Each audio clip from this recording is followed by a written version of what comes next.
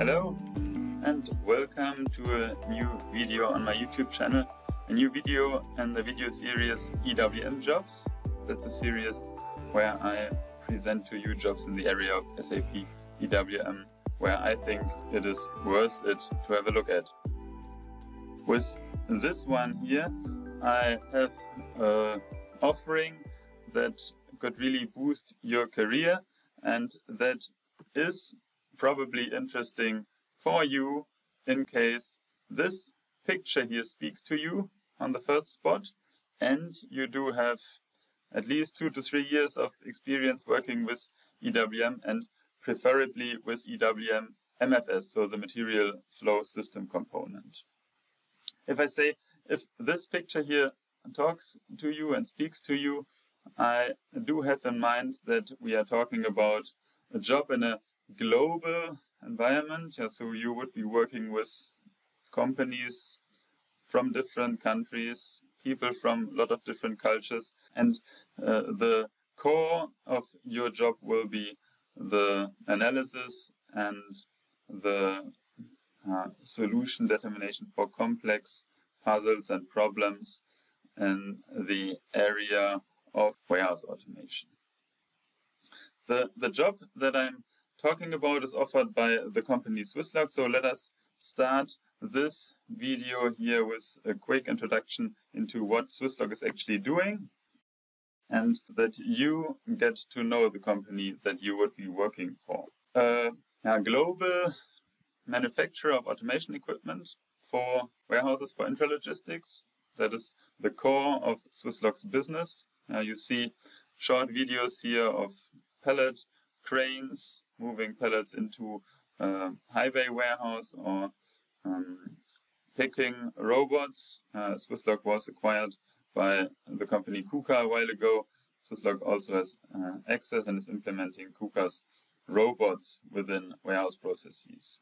Uh, so on a, on a high level, we are talking about a company offering warehouse automation hardware along with software solutions to control and run this hardware product. So Swisslog is a company with roughly two, two and a half thousand employees across the, uh, the world in many different countries with the head office in Dortmund, which is actually the place where you would be working at least parts of your time. And there's also very, very flexible home office regulation, but um, your uh, but, but a good part of your time should be uh, working in the office in Dortmund.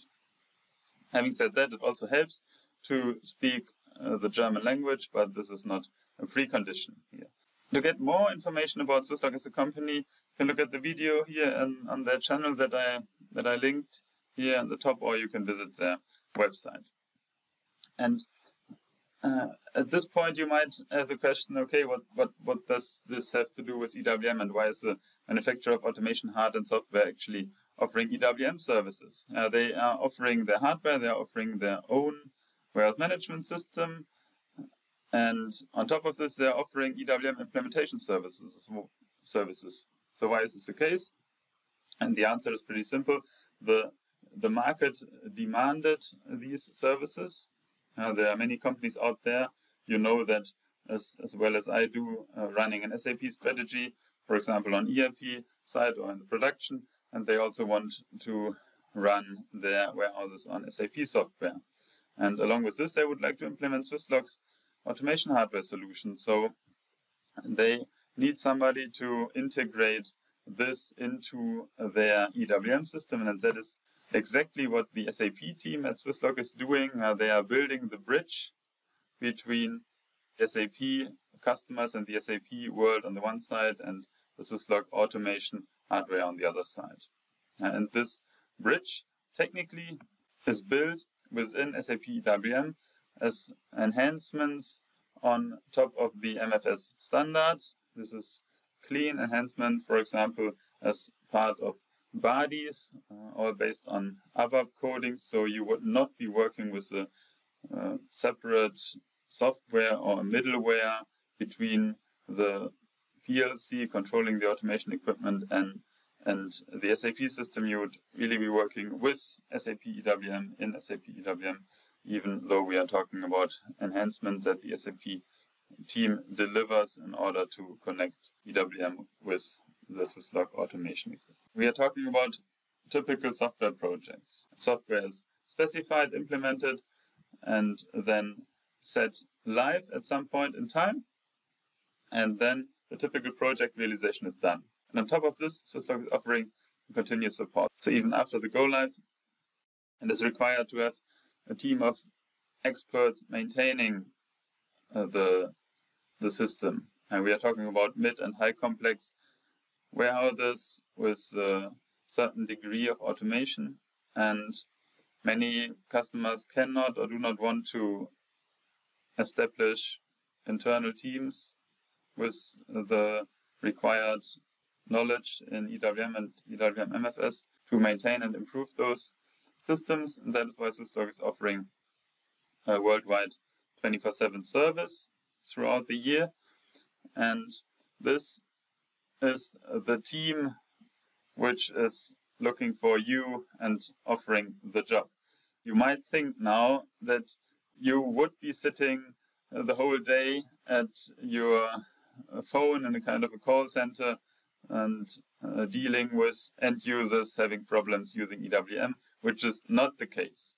Uh, the job that we are looking at right now, which is called service engineer at Swisslog, is to a quarter of their time, roughly, actually doing a second and third level service, helping the customers with problems that they have with the SAP system. But this is not the first level. Usually the customer is handling the first level with the direct issues from the end users. So what shows up here at the um, service desk are rather complex topics and problems with EWM and EWM MFS that you can solve using your knowledge and in this context also improving your knowledge about EWM and MFS. Now that's only a quarter of your uh, average working day. Uh, the second quarter of your task is in the area of project realization.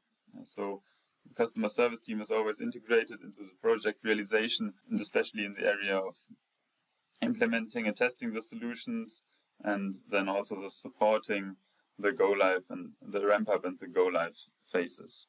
The, the third quarter roughly is continuous improvement. So um, warehouses which are uh, running and live already are continuously improved. Customers are handing in requests for changes in the configuration of the coding, and those requests are being evaluated and implemented by you and the team.